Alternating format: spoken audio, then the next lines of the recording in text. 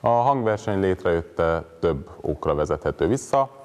Az egyik az, hogy a tavaszi fesztivál keretében 2017 tavaszán Debussy összes prelügyét, mind a két kötetet megszólaltatom a BMC Budapest Music Centerben Budapesten.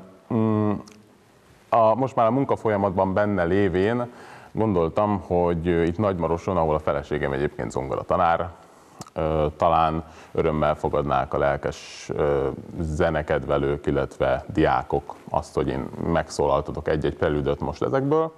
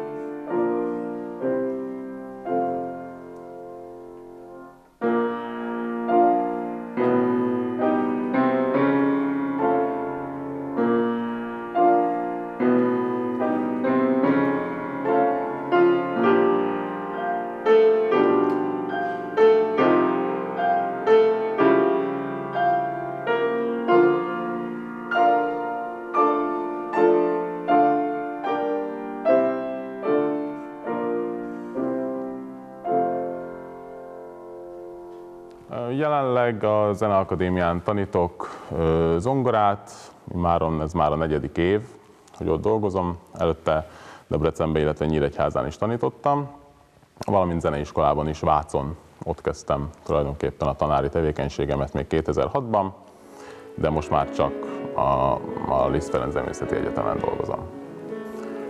Mai nap az, e, az első kötetet tűztem műsorra, ami ugye 12 prelüdből áll, és néhány mondatban beszélek is Debussyről, illetve az egyes prelüdökről, hogy mégis egyrészt a címeket be tudják azonosítani a művekkel, valamint a képzett társításokat el tudják végezni, hiszen Debussynél azért ez is egy igen fontos szempont lehet. A Debussy rövid életének ellenére, ugye mindössze 55 évet élt, 1918-ig, meghatározó alakja ugyebár a zeneirodalomnak, ezen belül pedig meghatározó alakja, vagy egyik legmeghatározóbb alakja az zongorairodalomnak természetesen. Azonban élete vége felé fordult leginkább a zongora muzsika irányába. 1909-től kezdve alkotta a prelüdjeit, nagyon rövid idő leforgása alatt, mindössze három hónap se kellett az első prelüd kötet megírásának. 1909. decemberétől 1910 februárjáig írta, míg a második kötet szintén alig mm, két hónapot vett igénybe 1913-ban.